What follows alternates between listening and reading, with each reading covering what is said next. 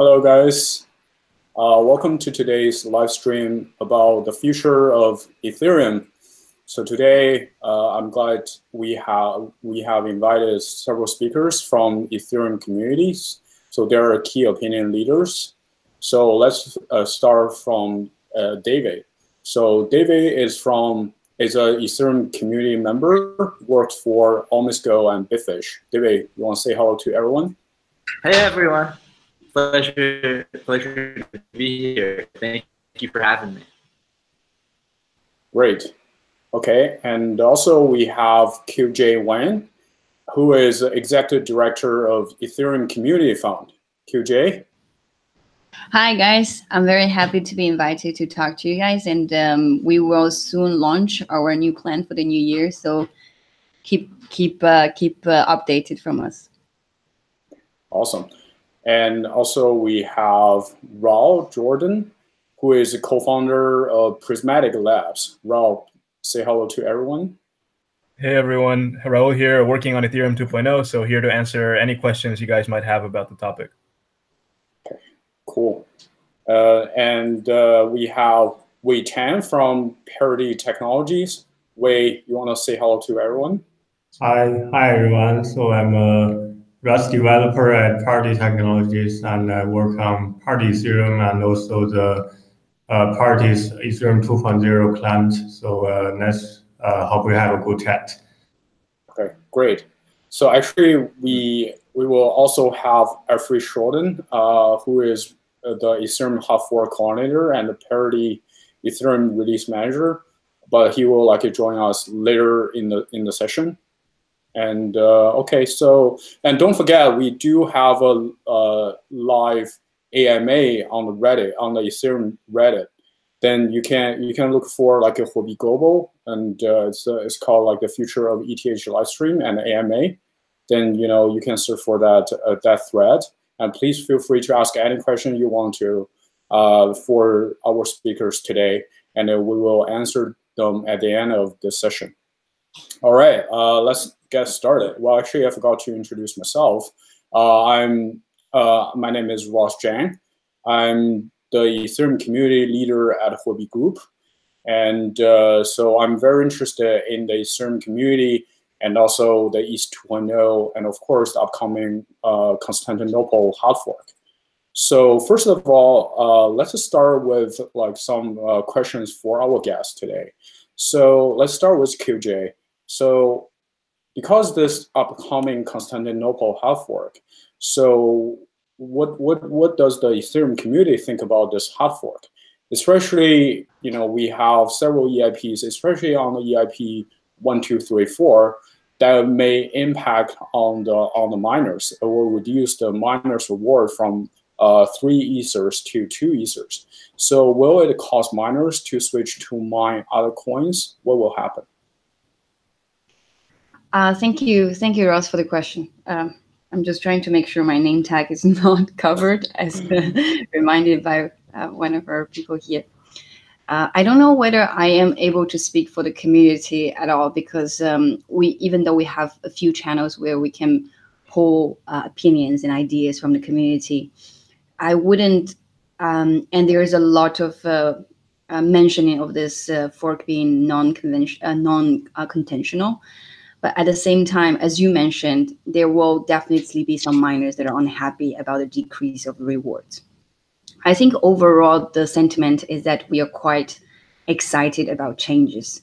The fact that we will make it more effective, uh, less gas will be consumed, and um, easier for people to use in general. This is positive change that Ethereum has always wanted for for going for better, for doing more things, and it is also necessary for the next step um, to prepare for the difficulty bomb. But what we cannot really, I mean, we, we definitely read some angry Reddits, like uh, miners, especially ASIC miners, are not super happy about this and threatening to leave.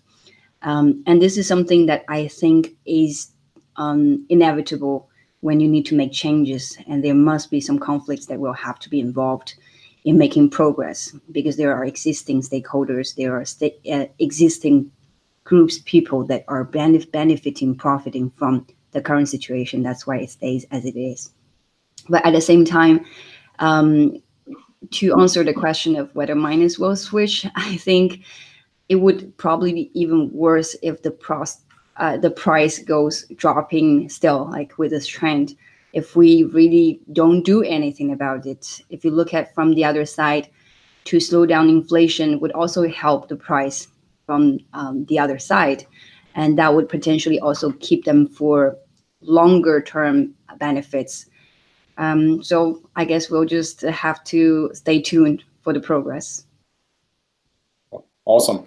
Yeah, I think uh, you know from the the price of, of Huobi, uh, Global, then we can see already seeing the Ethereum price went up from around like eighty dollars, uh, eighty US dollars to around like one hundred and fifty, and right now I think it's one hundred twenty, uh, like for uh, for the past two months.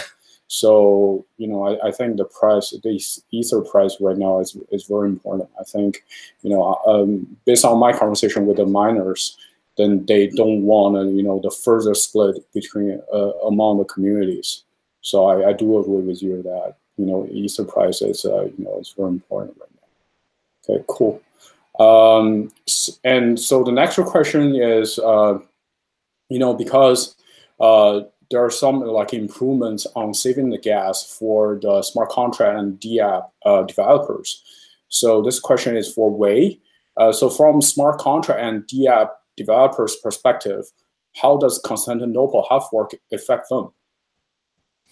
Uh, so the, the, the Constantinople hard fork has uh, in total five five EIPs, and uh, except uh, the EIP one two three four, all the other remaining four EIPs are directly related to smart contracts and uh, related to DApp developers. Uh, so we have uh, three of those EIPs that is trying to optimize things. That is uh, those things that we can uh, already do uh, in EVM framework, but we want to do it faster, more efficiently.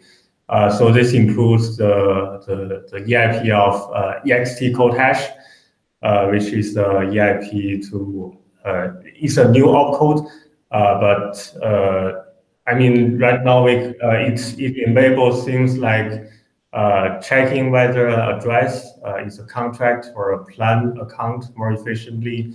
It also allows things like the like if, if a smart contract need to check uh, a contract code is whether of a specific one, but doesn't need to know the specific code. Uh, and we also have the EIP of uh, bitwise operations. This is also something uh, we can do already, but we want to like remove all the, the obstacle and make it faster. So we introduce several new opcodes also. Uh, and for those, uh, the DApp developers actually doesn't need to do anything. The compiler can pick the map by themselves, and the newly compiled smart contracts will uh, automatically have those features. And we also have the EIP of the uh, SS uh, net gas metering. Uh, this is a, EIP of gas reduction, which is potentially really useful for those smart contract developers that need to do uh, things like the uh, uh, reentry locks or things like like some standard library. it can also like encourage other like library designs which try to leverage like a transient storage. Uh, we have one new shiny new feature, uh, the Create 2 uh, EIP, which has the feature is pretty simple. It is a, a new a deterministic uh, new contract address uh, when you create a new contract. So, but this enables a, a large uh, variety of uh, applications on Ethereum. For example, we now can build uh, state channels more reliably. We can do uh, offline multi-sig or other applications offline, and and some the app developers also mentioned that we can also give a new onboarding process for them.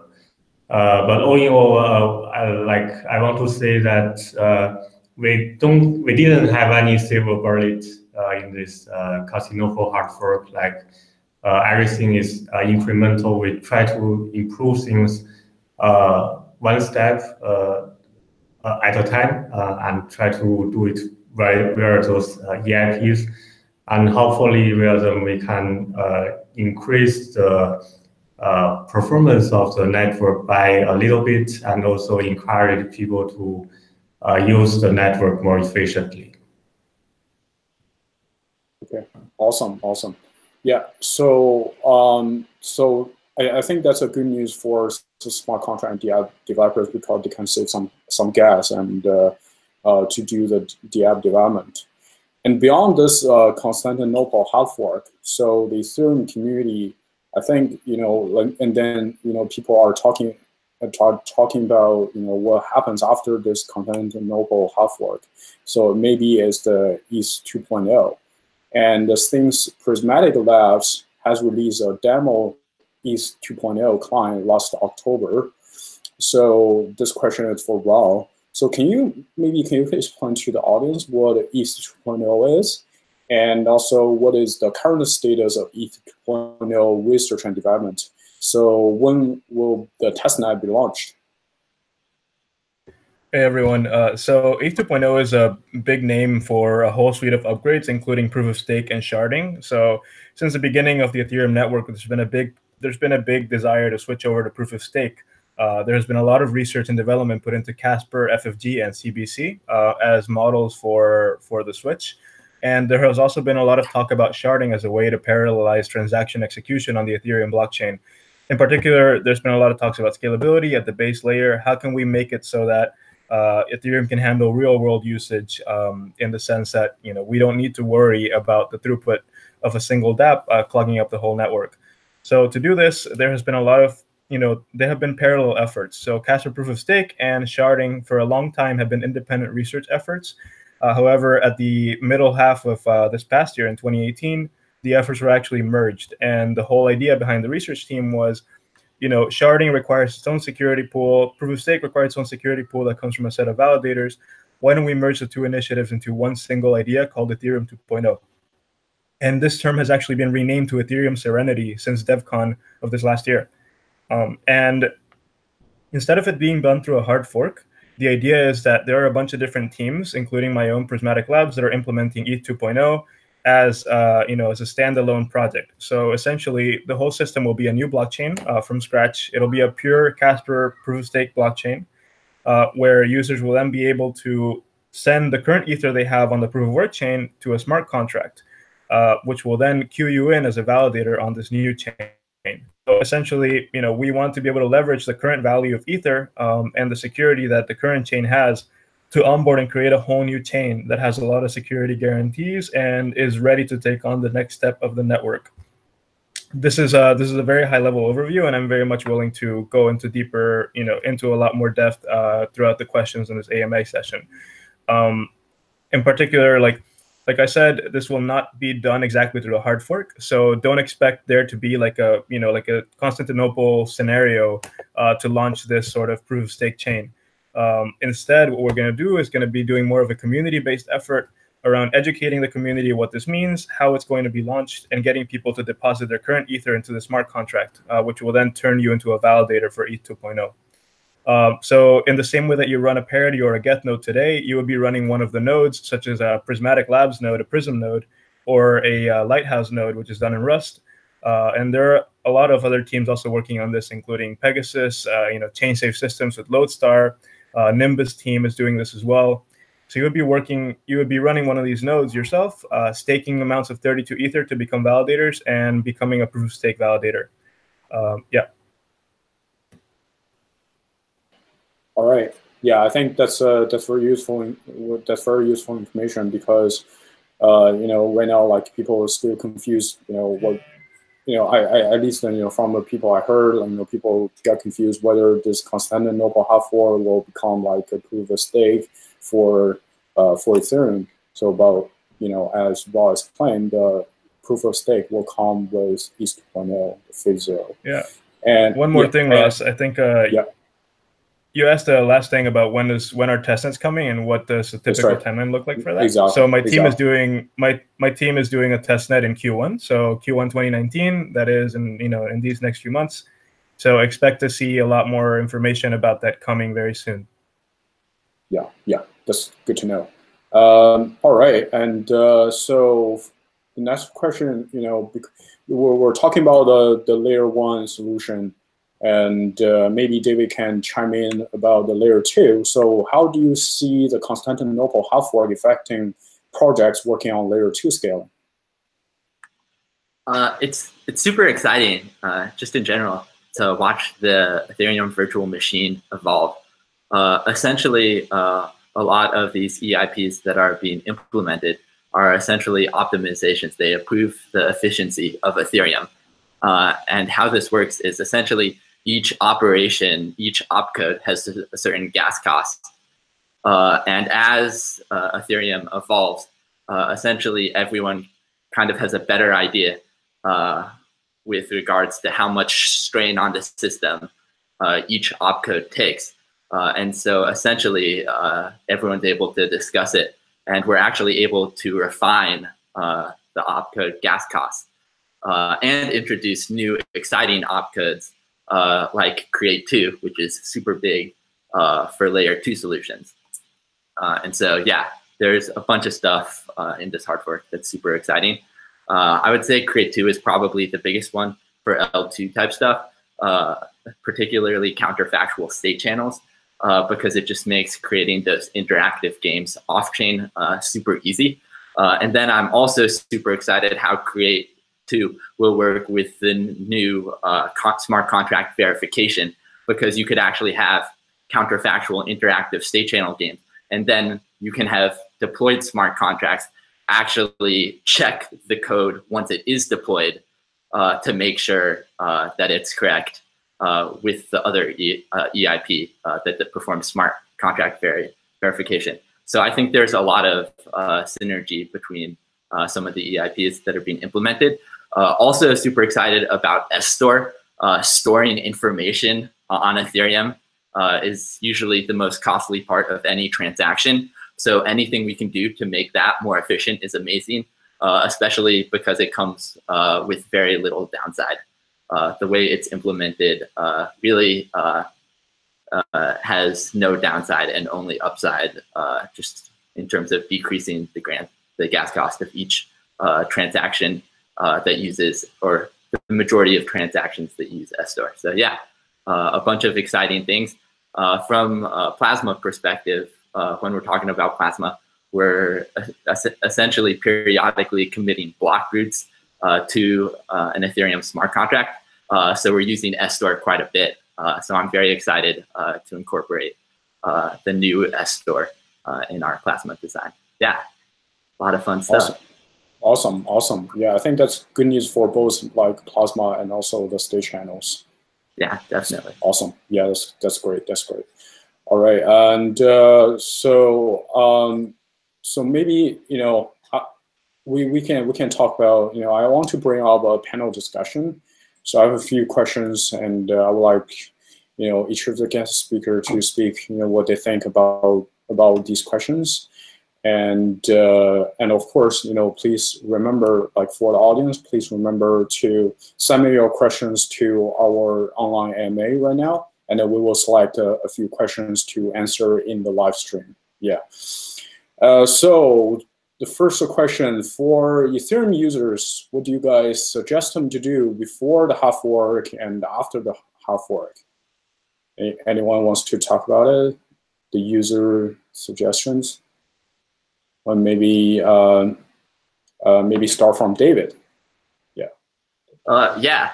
Uh, so uh, because this is uh, this is hard fork uh, has been agreed upon by the majority of the community. For the most part, it's non-contentious. Most Ethereum users, most people will won't actually have to or shouldn't have to do anything if everything goes as planned.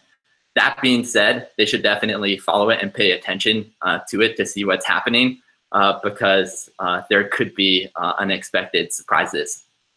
What's it? Yeah. So Yeah, I uh, maybe, yeah. Go ahead, Rob. I, want to add to that. Uh, I guess users should just be extra careful during the hard fork times because uh, you know people might be confused and, like David said, think that it might be a contentious hard fork and it's not. People might be claiming that they can double your coins, uh, you know, give them access to your old private key, stuff like that. So just be extra careful on the internet uh, with your ETH around the the hard fork time. Yeah, yeah. So actually, that's that's one thing I want to to to add because you know this is not really a hard fork. It's it's considered as a, like an upgrade more. And you know we already got some like a user asked you know whether they will they will get some like airdrops you know because they heard some like rumors that this is a hard fork then they will get some like a candies airdropped. So like from the Huobi's perspective, so we will give like the airdrop uh, we will do the airdrops. While if you know the product team is you know is legit, it's not like a, a scam. You know, just be careful. Someone is asking your private keys or something. And so the safest way for, for the normal users who don't want to worry about this, you know, upgrade or hard fork at all, maybe the best way is to deposit the Ether to to Huobi, and you know, from our side, we will handle all the complicated questions and after the half. All right. Okay. Uh, all right. And uh, okay, so the next question, you know, uh, I want I would like to talk about, you know, how will the Constantinople hard fork affect uh, Ethereum price? So who wants to talk about that? Maybe QJ, since you talked about the price before. Yeah, so I'm going to be the target here if I say go up and that's and, Don't worry, I'll be your backup. for the past years um, in crypto, whenever I do any trading action, I trading moves, it's usually it goes usually the opposite direction. So I'm trying to refrain from commenting on the price because I'm overall positive. So uh, over overall bullish in any in any case because it's for the for the greater good. So I'll just stop here. Yeah. Okay. Uh, so yeah, I, I, I guess I'll talk about the price since like I'm kind of I, am I'm from the like exchange side. So like statistically speaking, like the price like used to go up like when like everyone realized oh there's a hard fork coming. Uh, you know, and then after the hard fork, the price you know you know will you know, will probably like go down a bit because, you know, the market was kind of like optimistic about this hard fork. And, uh, you know, after the hard fork and people, then people realized then, you know, the market kind of cooled down a bit. You know, that's from our statistical um, perspective. And if you if you look at the Ethereum price, as I mentioned, so the Ether went up from December from like uh, 80 80 bucks from December to around like 150, like in the beginning of January. Now it comes down to around like 120. I think that reflects the, the that reflects the point. All right. Uh, all right. Who who else wants to talk about price? It's a. I can. Uh, yeah, I. I can't. I, I I don't feel like uh, I know enough to give an educated comment on Ethereum price, uh, but I do feel I do feel quite confident uh, in or optimistic about the price of Dai uh, being uh, stable. It has uh, functioned surprisingly well so far. Uh, so if you want to think a bit less about prices, uh, look into stable coins. Uh, in general. At the same time, uh, the multi-collateral Dai is coming soon, so it will have much more collaterals to be to be uh, chosen from and and and be used much more with the with a bigger reserve it would be very interesting to look forward to. Interesting, interesting. Good to know. All right, mm. and uh, since like Afri is here, and uh, I'll just welcome him. Hi, Afri. Hi, how are you doing? Hi, hi, Afri. Yeah, would you like to introduce yourself to everyone on the line? Yeah, sure. Um, I'm Afri. Uh, I work for Parity Technologies. I'm uh, the release manager for uh, the Parity Ethereum client. And um, I also recently stepped up to uh, coordinate uh, the Ethereum roadmap and uh, hard forking and protocol upgrades. Awesome, awesome. So I think Afri is the best person to ask the questions about this hard fork because he's coordinating it. So I guess you know the next question for Afri is you know can you you know give our like normal users, non non-technical people, like explain what is this Constantinople hard fork is and what's the impact on Ethereum network after the hard fork. And I saw, I, I somehow I saw there's another hard fork this year called Istanbul. Maybe can you share more information about it as well? Yeah, sure. Um, so first of all, um, hard fork is a pretty uh, uh, technical term. It basically means by definition that the changes introduced in this protocol upgrade are not backwards compatible. So we still use this term, even though it contains the word fork. It does not necessarily mean we have a chain split after this. And um, the changes introduced in this net network upgrade, this protocol upgrade, are um, in most cases uh, not really relevant for end users. Um, one one proposal, the EIP 1234, is uh, the difficulty bomb delay, which is interesting for miners and investors because um, it allows um, miners to uh, mine the Ethereum proof of work chain for another 12 months uh, by delaying the difficulty bomb and um, to stabilize issuance, uh, it also adjusts the block reward down to 2 ETH. Other than that, the other four proposals are more targeted at um, smart contract and application developers. Um, yeah. Yeah. Okay. Cool. And uh, yeah. So, uh, how many nodes have upgraded to uh, to Constantinople right now? Over nine thousand. okay. Awesome. I, um, honestly, I don't know how many Ethereum nodes are out there. Uh, I don't know how many of them upgraded I assume that most of the important infrastructures that will be miners, uh, pools, exchanges, um, service providers like Infura, MyCrypto, all of them upgraded. I'm very confident about this. Um, I think among the end users that running Ethereum most of them are not as closely following Ethereum or just lazy upgrading. I think there is like a 50% rate of people already upgraded. But um, I'm very confident that um, we will not run into any issues. Yeah, cool. Uh, so I'll, I'll, you know, I'll speak from like from Huobi from the exchange perspective. So we already announced that we will support this upcoming uh, Constantinople hard fork. So stay tuned with our announcements. You know, in the coming one or two days, and we'll see. You know, when it will happen. All right, and uh, so so let's get back to our panel discussion questions. So, you know, when Ethereum enters Serenity, which will be the next phase for Ethereum, and so it will be using proof of stake instead of proof of work. So some people do have some uh, do have concerns on proof of stake, and uh, what do you guys think about you know proof of stake versus proof of work? Is there any transition plan for ETH 2.0 to cut off proof of work? Maybe Raul, you you can you can you can uh, answer that.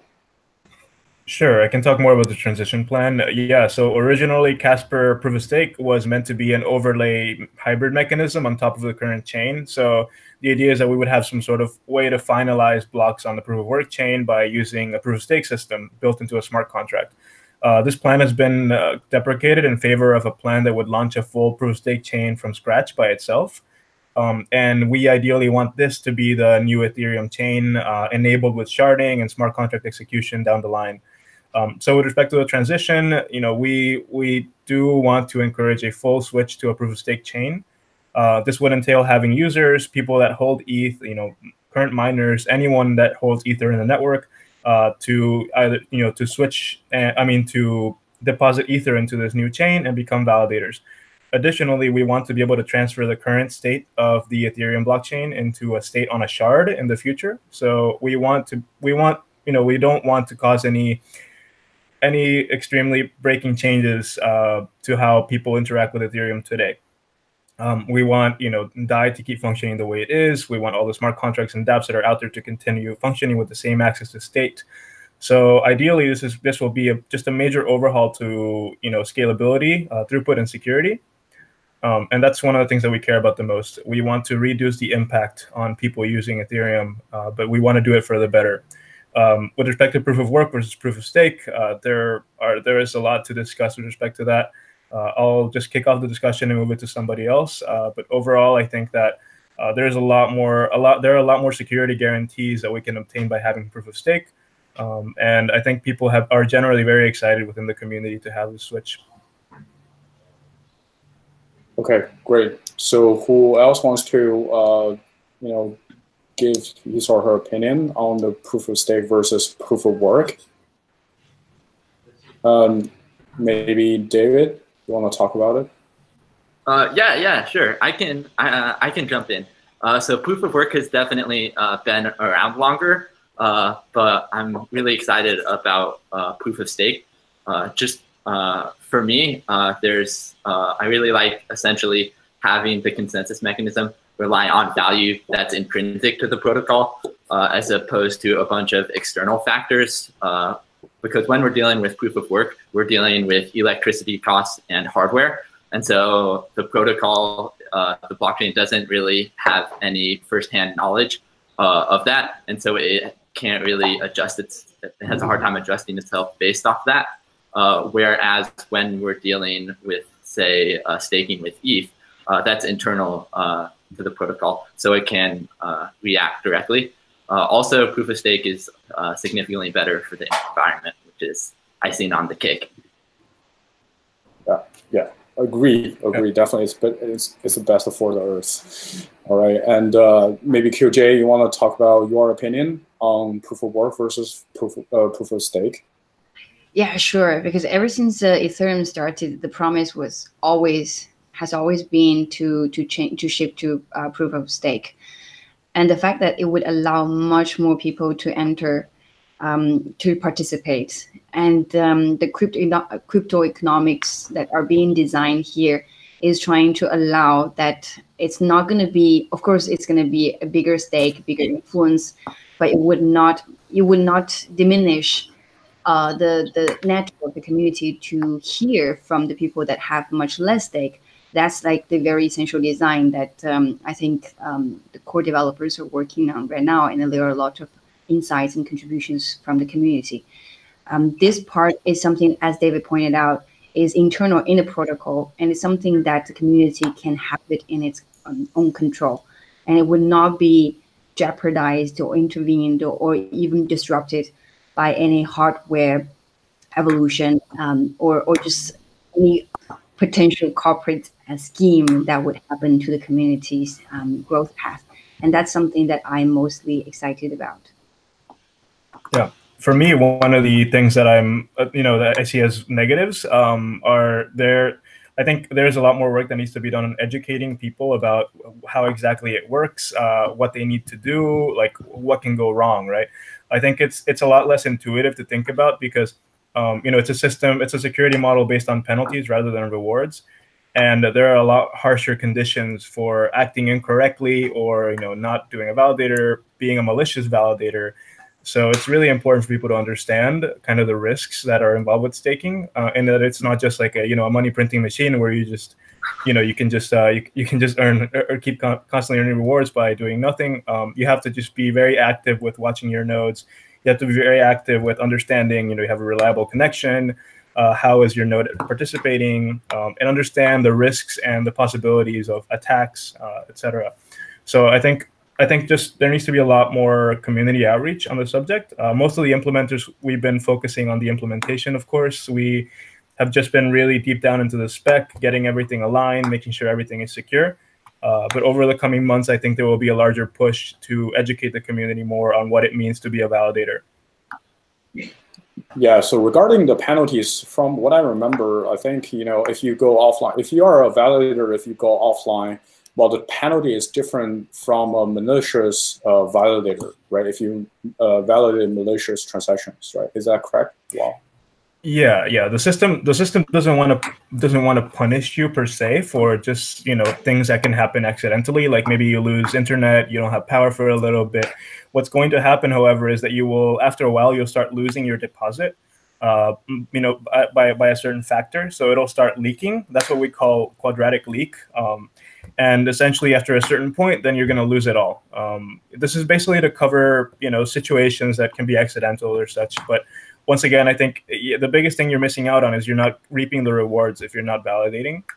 Um, and it's it's it's still very important to keep in mind. So some people we do allow the ability for some people to stake to put in more money as a deposit than the required staking amount just in case if you have if you think that your computer might be offline sometimes or you might have an unreliable connection you don't you never want to go down the boundary of 32 ether um, you always want to be you know safe against that. So you can put up a little bit more upfront to prevent your node from you know getting slashed or losing money.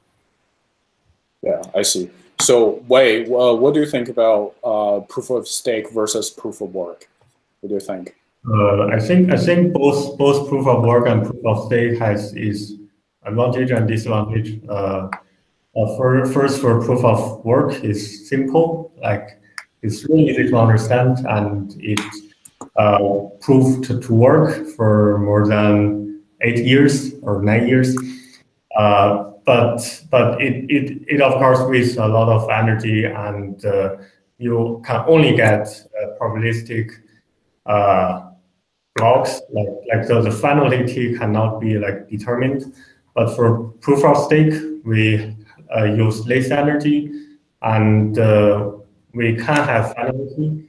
Uh, but in the meantime, it's a little bit uh, more complicated. Like you can't make it so, no matter what the guarantee is, you can't make it so that it's as easier to understand as proof of work.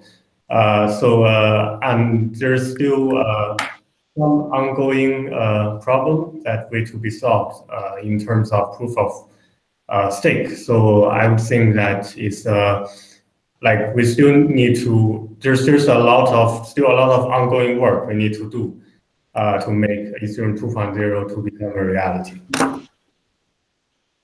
Yeah, yeah, I see. So, Afri, uh, what do you think? Proof of stake versus uh, proof of work, and also, what do you think about uh, pro POW? uh, so first of all, uh, I'm a miner at heart, so uh, I love proof of work. It's plain simple and it, it's proved to work for decades now. Um, yeah, but um, I'm also excited about the transition to uh, proof of stake, um, the so-called Serenity milestone in the Ethereum roadmap. Yeah, but um, I'm only remotely following uh, the research that's going on and the beacon chain uh, implementation, so uh, I cannot really comment on proof of stake in, in the Ethereum space. Um, uh, regarding programmable uh, proof of work, what do you want to know? I did some uh, in-depth research the last two weeks. Um, oh, okay. Yeah, just want to have some like a general idea on the program. Yeah, um, so the idea is to um, squeeze in another network upgrade in the upcoming months to uh, change or modify the proof of work algorithm for Ethereum miners to something that prevents uh, specialized hardware to be used uh, to mine uh, the Ethereum network. Um, in most cases, these are uh, ASICs. There are some around by Bitmain, there's another co company called Linzhi that announced they are launching uh, Ethash uh, ASICs this year. And now there's a lot of lot of people moving and uh, pushing for proposals that change this algorithm. And one of the proposals is this programmable uh, POW, POW. And um, this is uh, one attempt to uh, change this algorithm, and there's like a bit controversial. There are people saying uh, we are moving to proof of stake anyway, so why bother now? It's a waste of time. It's a waste of developer resources doing all this research, implementation, and testing. Others say it's urgent. We should uh, stop Constantinople and squeeze in uh, uh, ProgPoW into Constantinople and then there are a lot of people in between that are like questioning is ProgPoW the correct choice? Are there better alternatives? Maybe we should investigate uh, different proposals. Like the Monero community uh, is researching um, randomized proof of work.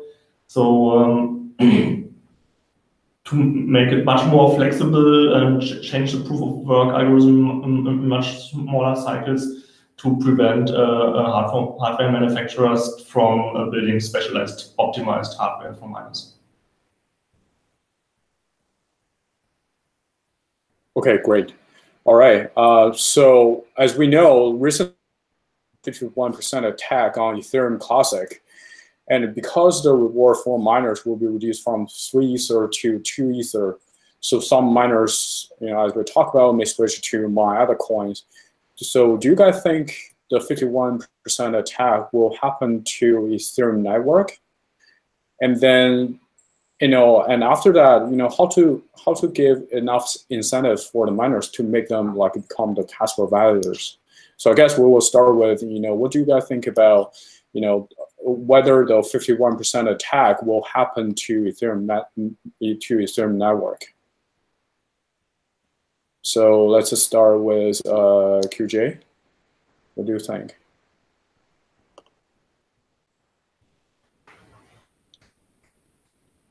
Hello, QJ. Yeah. So. Oh, sorry, sorry. I, I was broke off yeah. a little bit. Could yeah. you could you repeat the question?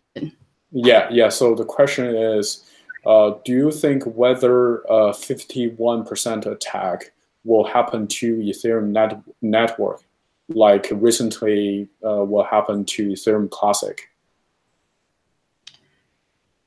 Um, I think um, what happened to Ethereum Classic, Classic is an unfortunate thing. Uh, but we are generally very optimistic about that this is not going to happen. There's enough research and study done. And uh, based on um, like the polling, the, the, opinions and what expressed by all these validators that are currently in the network, it doesn't seem to be very likely to happen and uh, I'm actually very curious um, from. I'm I'm actually very curious about the answers from all these other expert uh, expect experts in tech and to see whether they have similar similar views on this matter as how the community thinks about this uh, this issue. Cool. Uh, so David, maybe you can chime in. Uh, yeah, uh, yeah, sure. Uh, yeah, I, I really feel like I don't have enough information uh, to predict uh, a 51% attack. I mean, people can rent mining power, uh, and as more and more people start to see the potential of Ethereum, uh, I do think that uh, there's like there will be more people who want to work against it or attack it. Uh, so my answer there is Hopefully it doesn't happen. It's definitely harder for it to happen on Ethereum than it was for Ethereum Classic. It will take significantly more financial resources for it to happen, uh, but uh, but it could. Yeah, I don't know. Hopefully, hopefully it doesn't. Uh, in terms of uh, miners uh, becoming Casper uh, Casper validators, I, think it really all goes back to kind of what Raul mentioned with uh, education. Uh, so the first step uh, is getting uh, miners and other kind of large players within the Ethereum ecosystem to really buy in uh, to Casper, uh, to get them to understand it, to get them to understand why they would want to participate. and then after that, just with the way things are moving with Ethereum, with uh, just multiple decreases in block rewards, it seems like a fairly uh, natural uh, transition uh, for them. Yeah, yeah, I agree. Uh, so, Raul, what do you think? So, you know, yeah. How, how, so, yeah. Uh, it's a very non-zero pro. It's, it's definitely uh, it's definitely a non-zero probability. Um, like like David said, I think we would need a lot more. Nobody really has holistic information on everything happening in nodes across the Ethereum network and exactly when an attack could take place. If somebody isn't attempting an attack right now, uh, hopefully not. Um, I think the important part about switching miners to a proof of stake is aside from education, is that the roadmap for ETH 2.0 is also done in phases. So phase zero will just be a proof of stake beacon chain, essentially, where you can deposit 32 ETH, be a validator, but you can't really do much with the rewards you earn. You're kind of just earning them. Um, in the later phases, we'll be adding in sharding and smart contract execution. So at that point, you can send the rewards that you earned. Uh, you know, you can send it to other users. You can use them in smart contract applications on the sharded blockchain. Uh, so in the meantime, you know, we I think there is a possibility for miners to start depositing any sort of multiples of 32 ether that they have to become validators gradually. I think I think I think giving them the option to do it over time is really good.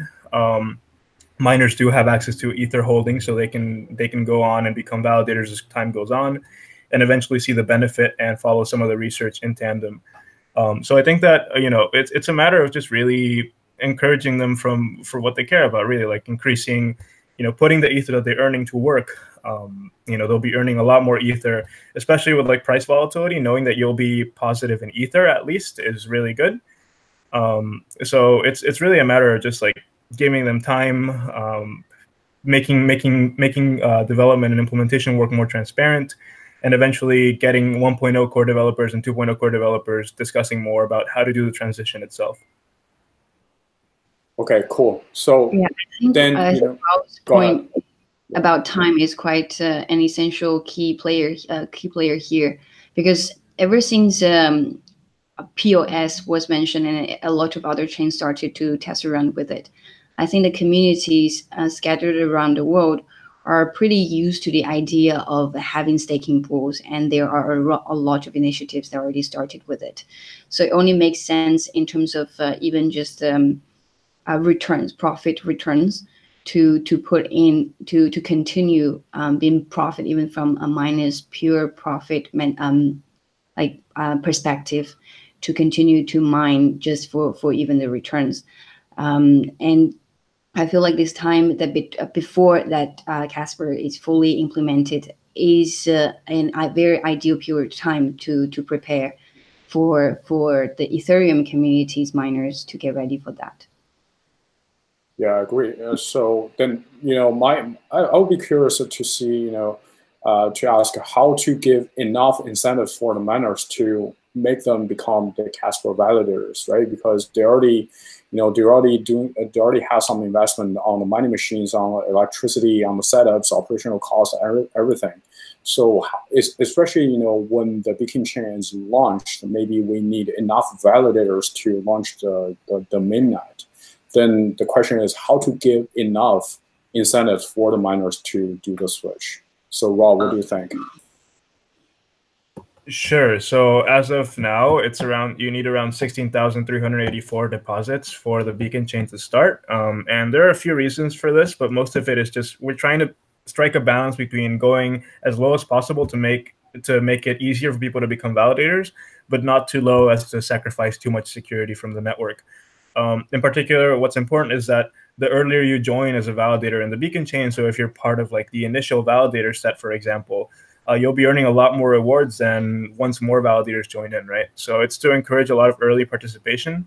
Um, I think miners will see the value proposition of this, and like you said, they already have the equipment, they have the computers, they have reliable uptime, uh, and they all, they also have ether holdings. So you know, I think it I think it makes a lot of sense for them to hedge, um, you know, some of that in light of volatility, just put it, deposit into the Beacon chain, earn rewards in Beacon Ether, um, and eventually, once the two systems are merged, then you know things will improve a lot more.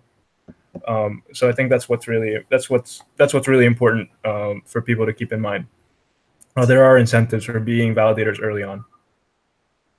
Yeah, cool, cool. So, so David, uh, what do you think? Uh, I, I, was just gonna say that uh, mining is awesome. It's uh, quite proven. Uh, but I don't really see a reason uh, to focus on attracting miners in particular uh, to become validators when compared with other uh, fairly large uh, players. I mean, to be a validator, you have to hold ETH. Uh, and there are a lot of large ETH holders who run full nodes and who kind of know how to do the DevOps, the technical side of things. Uh, and so I really hope miners kind of jump on the validator train. Uh, but I don't think kind of that particular segment of the market is more important than any other. Okay. Yeah. Yeah. I, I agree. Maybe I'm waiting here to ask questions to to what David just said, because uh, I think the major concern would be if these miners don't switch to Casper, would they still be ETH holders, right? What what that would um, do? What what would they would do to actually affect um, the market's stability in terms of price? And and that that's like one I think one of the major pushes for hoping that um, they could stay to to continuously hold ether. Well, Yep. do you, or if we don't care. Oh, yeah, I think from the from the exchange perspective, like we, we, we do care like people who hold like if uh, hold ethers, right? Because like you know, like I think like Ethereum is like it's very important. Like it's probably like a one of the um one of the like the most popular like the, popular chains available right now. So, and I think like Ether, you know, because a lot of people are holding Ether right now, and yeah, like we we, we, definitely care about you know whether you know the people who already have in, uh, large uh, Ethers will still hold it, and I mean, maybe yeah, we'll we'll see about that. Okay, and uh, yeah, so uh, let's switch to the question from uh, from our Reddit AMA. So the user funny x fun. Okay, that's a very funny name. All right. Um, so uh, the question is for Afri. Um, so um, I have a question for you since you authored EIP 1234. I understand that you propose a delay of the ice age by postponing the difficulty bomb due to a delay in Casper and proof of stake development. So how will how will reducing the block reward maintain the stability of the system? So this question is for Afri. thank you. Um, thank you, Ross. Uh, this is actually my favorite question. Uh, because, um, yeah, I'm the author of this EIP, and um, so let's start with some facts. Um, actually, I'm lying a bit because EIP 1234 does not stabilize the issuance, but it actually increases it. So what we have is the difficulty bomb slowly kicking in, and the difficulty um, is growing exponential. This means block times uh, are getting longer and longer, and um, the daily issuance during the the difficulty bomb, or the so-called ice age, is going down rapidly. So with uh, introducing a delay of this bomb, we basically gift miners uh, by giving them um, another 12 months of mining the work chain. And um, this comes with a massive increase of uh, uh, newly minted Ether over a period of 12 months and therefore we decided to reduce uh, slowly the block reward to uh, counter this um, issuance increase. So um, yeah, it's strictly not a stable. I call it stabilization because we we have two different uh, angles here that are um, uh, being addressed. Okay, thank you, Afri. So there's another, uh, so the user, some Jason guy asked, uh, what is the approximate time frame when, uh, uh, by when a complete switch to proof of stake will take place? Will there be another hard fork along the way? So who would like to answer it? Yeah, so for the complete switch to proof of stake, um, so proof of stake is part of the Ethereum 2.0 Ethereum Serenity roadmap. Uh, it's split up, like I said, in multiple phases. The first phase is a full proof of stake chain in which people can deposit uh, amounts of 32 Ether to become validators and earn rewards, and also apply penalties based on behavior. Um, the, you know, there are testnets being released early this year, and then there will be mainnet release probably this year for that with respect to having uh, having the ability to withdraw that ETH and send it to other people, use it in contracts, etc. Uh, that is the next upgrade. So that is what we call phase one and onward. where we'll be adding sharding, smart contract execution, and more. So the timeframe for that will probably be occurring after, you know, probably during or right after the mainnet releases for the phase zero. So uh, later, near the latter end of this year, we'll be seeing a lot more work being done on that subject. Um, and it is it will not be a hard fork, by the way. So there will be just a, the, the, new chain will be released. Uh, there will be a smart contract on the current proof of work chain where people can deposit their ether, become validators, run one of the ETH 2.0 nodes, and then they're good to go. Uh, there will not be any breaking changes. There will not be any any any sort of a Constantinople like scenario to the current proof of work chain uh, to allow that to happen. Okay. Yeah. So so there's a question from uh, the user blockchain for life. So what will the TPS be after the fork? And what do you guys see as the killer smart contract or dApps for Ethereum? So who would like to talk about it? Yeah. Um, maybe David, you want to talk about Sure. Uh, my understanding is that uh, the transactions per second uh, won't actually change uh, that much uh, uh, post fork. the chain will just be more efficient and it will keep running at, with kind of in a more business as usual way, just because the difficulty bomb is being delayed. So miners will still be able to mine blocks. in terms of killer dApps, I uh, I would say uh, there's a bunch of promising stuff stuff happening right now. Uh, you kind of see uh, people much more heads down and building uh, in bear markets just because there's less hype, and so more people are heads down. I'm really excited for ETH 2.0 because I feel like once we have the beacon chain and shards functioning, then uh, essentially Ethereum will be able to support uh, kind of quote unquote uh, killer dApps. Uh, whereas now, yes, uh, smart contracts work on Ethereum and they can do a lot of cool things, uh, but it's still very hard to use them at scale. Okay, yeah.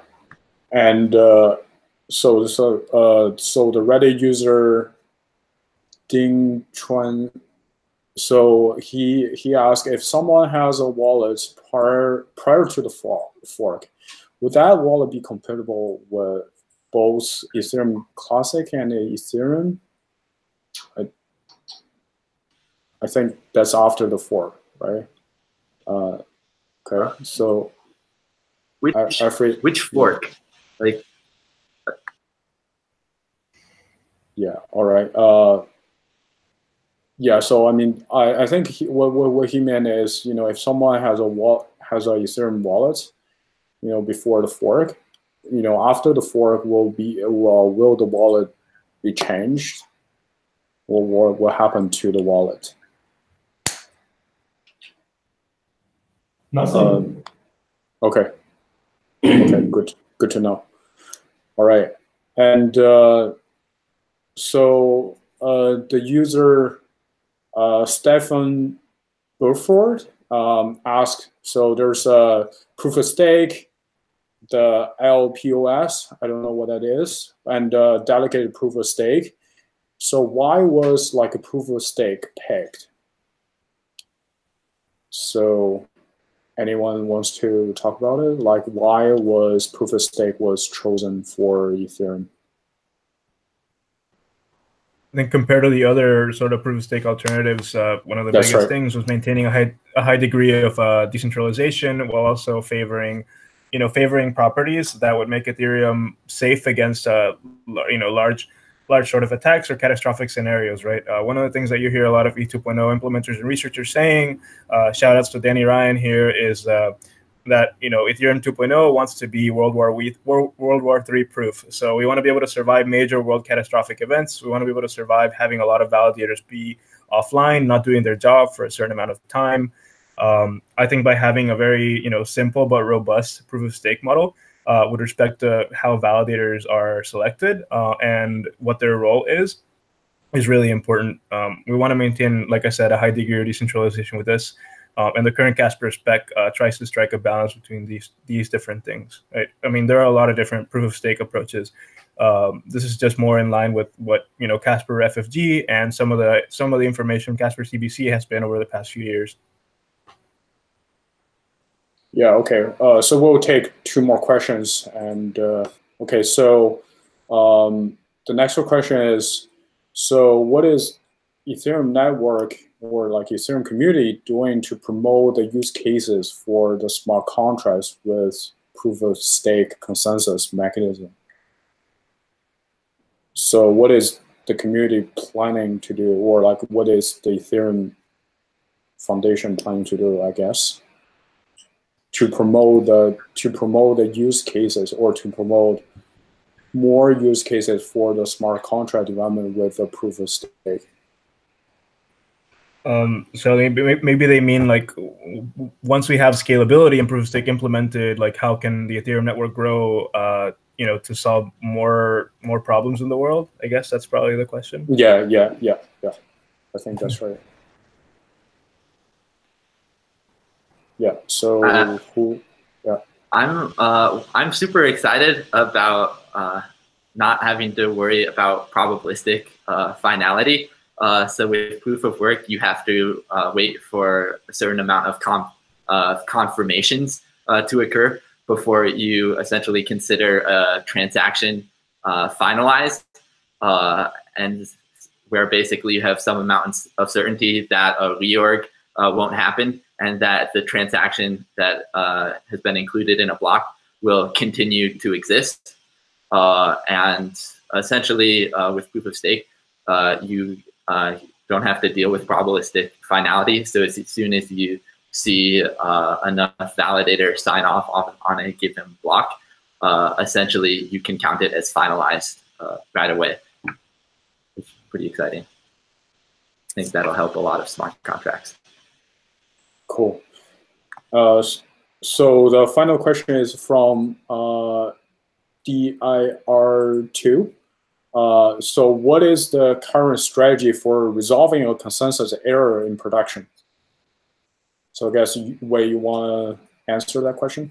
Okay, so uh, so so I think Danny's question, Danny has a really good question that uh, we all need to think about. Uh, but I mean, for the current our current way of resolving a consensus error in production is actually not very different from resolving a bug in a software. So we just, if, if there's any consensus error ever happened, we will just try to uh, look into the code as fast as, as we can and try to uh, fix the bug and then do a release of the software.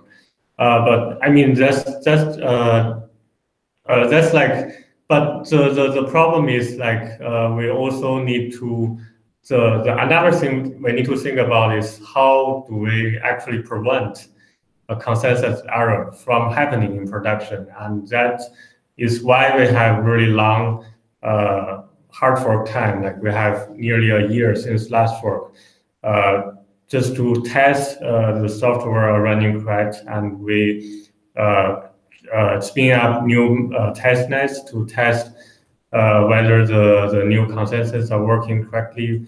Uh, Martin is also running some uh, fuzzy testing and also other testing infrastructure uh, to make sure that all clients agree on a, a, a single consensus state.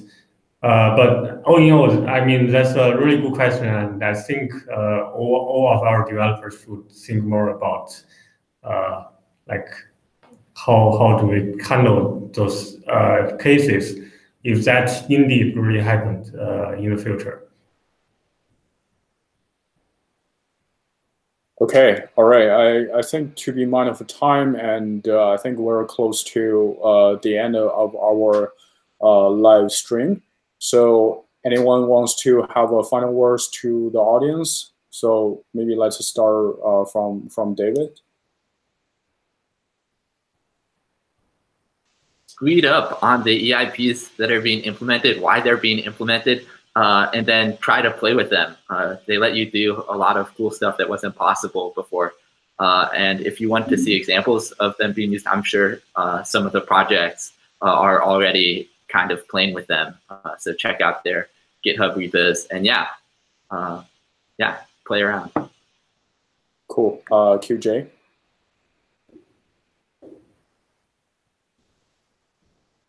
QJ? Yes, sorry, I was just trying to unmute myself. Yeah. Um, Ethereum Community Fund uh, is going to expand to more than just a grant program. We will offer much more in terms of tech support and then mentorship and connecting you with the right ecosystem to see whether they need your missing piece that you're working on and um, and also um, whether this project is closely related to blockchain or not, or whether it's just a good representation of the spirit that blockchain is trying to push for transparency, openness, ownership. And these are all things that uh, ECF network is trying to do. So check us up and write to us. Thanks. Great. Thank you. Great. Thank you. Great. And Raul, yeah, everyone, uh, really encourage people to follow the ETH 2.0 spec. Uh, right now, it's it's very much written for implementers, but I think there's a lot of work being done to make it more digestible and understandable. So if you look on GitHub in the Ethereum uh, uh kind of organization, you'll find ETH 2.0 uh, slash specs. So uh, dash specs, sorry. So you'll be able to just you know look at everything that's related to the beacon chain, um, as always, also follow the ETH Research uh, blogs. So there's a lot of new ideas coming on there. If any community members have questions or want to propose, uh, you know, interesting analyses about proof of stake, they can post them on there. Um, and of course, you know, check out the different implementers teams. So I want to give a shout out to my team, Prysmatic Labs. Uh, so if you look up Prism, P-R-Y-S-M on GitHub, you'll find a Go implementation of the Beacon chain and everything related to ETH 2.0. Um, so yeah, so keep an eye out for more information coming out this quarter. Thank you. Awesome, awesome. So, oh, wait. Uh, I don't, I don't have uh, a lot of things to say, but but if anyone has questions uh, or suggestion about Parity Ethereum, or or if you want to know more about uh, Parity's Ethereum 2.0 progress, please uh, reach out to us. Okay, great. Uh, so, Afri. Yeah, sure. Um, thank you for uh, having me on the panel and giving me uh, the, the time to say whatever I like. So um, we have an, all-core developers call on Friday, and we need to decide on how to proceed with ASIC resistance or with, with ProgPoW in specific. Um, I would like to ask the community, especially the miner community, to start some kind of wiki, some kind of documentation of um, performance of different GPUs using Ethash and using ProgPoW. That would really help. And if this could be done before Friday, yeah, let's do it. Thank you for having me. Awesome, awesome. So, like my final words for the audience, and you know, this well, this the transcript and also the full article of this session will be published on on our Huobi Global blog, and you can also like follow us on Twitter at, at Global. And if you, well, if after the session you still don't understand, you know, what's coming after the Constantinople hard fork or you don't know what to do, um, I, I, think you can always check our uh, our announcements and uh, we will take, uh, Huobi Global will take care of the rest. All right, that will be it. Thank you so much for your time today, guys. Thank you Thank so you. much. Thank, Thank you for everyone. Thank you. Thanks, everyone. Thank you. Okay